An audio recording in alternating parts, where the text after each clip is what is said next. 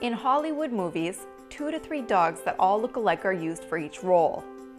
Each dog has certain strengths that will make the story come to life.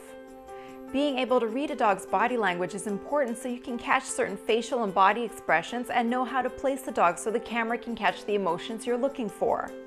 For example, the director needs the dog to look left with excitement while staying in place. So, on action, you wait a couple of seconds and give the dog a cue that gets him excited without moving his body, while lifting his ears and showing a vibrant look in his eyes. If the director asked only for the dog to look left naturally, then you could walk to his left off camera and his eyes would naturally follow you.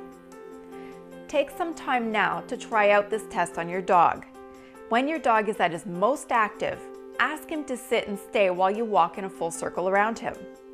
Next, get him as much exercise as you can to get him as tired as you can.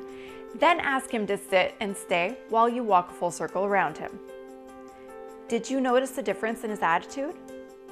Now let's discuss the importance of basic obedience.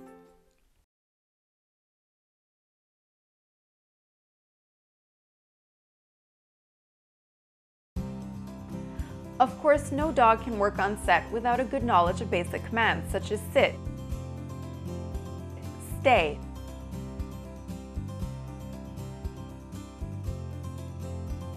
stand, down,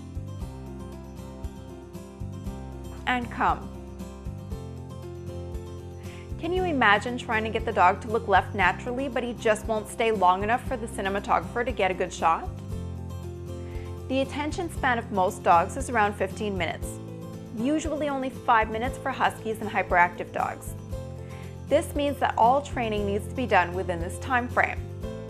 When you're on set, the day can last 10 hours, so, how do you get the dog working for hours when he only has an attention span of 15 minutes? Of course, your dog won't be in front of the camera for 10 hours at a time. You would set up the scene, meaning that you go over where the dog needs to go and what he needs to do in that scene without the dog so you have a clear picture in your mind. You can do one practice run with the dog before shooting begins. Remember, a dog can only repeat a task a short number of times in a row before he loses interest and refuses to continue. So don't do too many practice runs before the shoot. The dog should have a crate in a quiet spot so he can relax in between shoots during the day. Your basic training will help you to ask the dog to stay for longer periods of time, but the dog will still need lots of breaks throughout the day. Movie dogs are considered working dogs, and this means that no one should be petting the dog unless it's part of the scene being shot.